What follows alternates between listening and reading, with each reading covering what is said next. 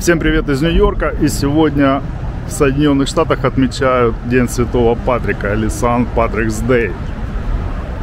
Именно в этот день каждый год на Манхэттене проходит шествие, которое длится на протяжении пяти часов. И сюда приходит очень много людей.